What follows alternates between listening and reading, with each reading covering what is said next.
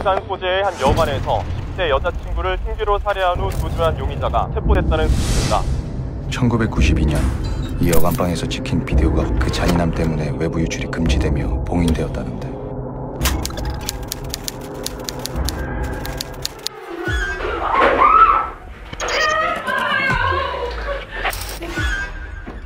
검사들 사이 이 비디오가 화제가 된 것은 전혀 뜻밖의 이유 때문이었다고 한다.